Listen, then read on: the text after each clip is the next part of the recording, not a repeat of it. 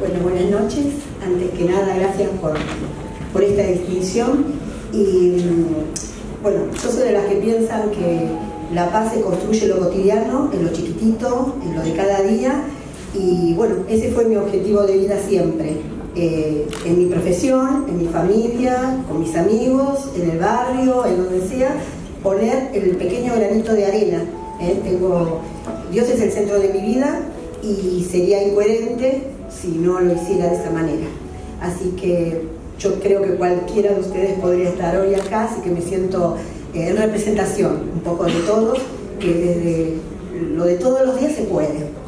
Muchas gracias.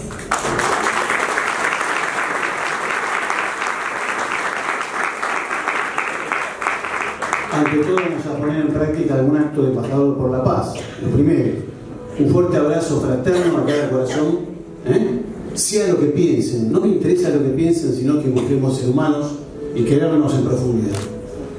Ante todo eso. Y acá estoy, yo ya vivo esto, no necesito esto, pero agradezco muchísimo a la UPF, a la Federación para la Paz Universal. ¿eh? Y gracias Miguel, amigo. Este, y hay muchos acá que, bastantes, no todos mis amigos, y, mucho menos, pero el placer, decía Aristóteles cuando descubrí lo que era la justicia política, disfrutar juntos de buscar el bien común, disfrutar juntos de buscar el bien Entonces sientan este bálsamo en este momento de la historia que necesita cada uno en su corazón para descansar. Primer acto, después al final va a ser el segundo. Y quiero por eso agradecerle de los compañeritos de pantalones cortos, que tengo alguno acá, de esos amigos con que formamos el primer grupo juvenil, que ayudó a crear la primera prevención juvenil de Luján. Mi amigo Jorge Andrés caminando, caminando Santiago, a pie. ¿eh? Y hay también, hay también por ahí chicos de la ONU, hace 27 años que hacemos modelos de Naciones Unidas para jóvenes, ¿eh? foros barriales de jóvenes.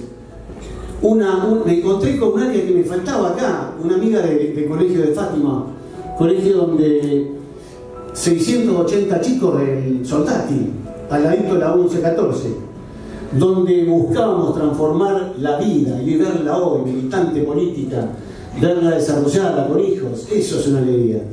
También, ¿qué poder decir? Acá estoy eh, por la oración, hice muchas cosas sociales y políticas, no partidarias, en el sentido de buscar el bien común.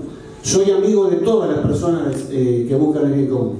Acá está Mari Lofano, de 34 años que rezamos juntos, formando a los intercesores que acompañan gente con problemas, que los acompañan con la oración y la acción. Entonces cuando uno va viendo cómo Dios obra en curar las heridas, y eso es lo que le deseo a cada uno, y hay tantos amigos acá y tantas personas que lo que aprendí es esto, uno es una partecita.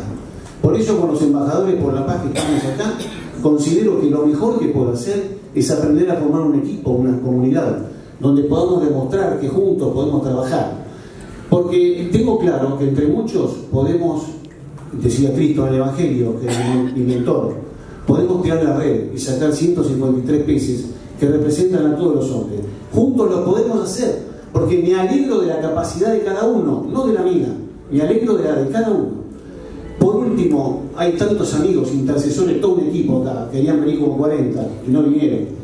¿Eh? Que vamos a hacer el 16 un taller orando por la patria y, mostrando cómo interceder para crear el ecumenismo, en la relación entre los cristianos y con las otras religiones. Y sobre todo cómo interceder orando para madurar la maduración personal. Le mando ahora el último acto de paz. Es, le pido al motor al motor de, la paz en mi corazón, que me presentó Rosa María Holgado y me dijo, esta es la chica, esta es la pareja. Me lo presentó, ¿eh? cuando estaba hablando con ella me dijo adentro, esta es, hace muchos años. A mi familia, a mis hijos que están acá. Este Espíritu Santo eh, y Mahatma Gandhi. Mahatma Gandhi hace 25 años que lo sigo personalmente y he formado a muchísimas maestras eh, la no violencia. Les quiero pedir a este Espíritu Santo